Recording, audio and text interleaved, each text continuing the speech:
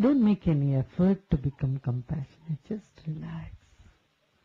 Certain things you have to assume you that you have. You have to assume you have those qualities. Hmm? There is no way you can increase your compassion by your effort.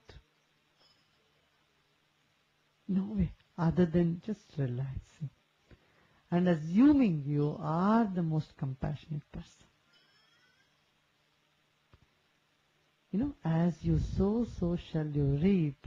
It's very true in this. You have to assume you are compassionate and that will start happening.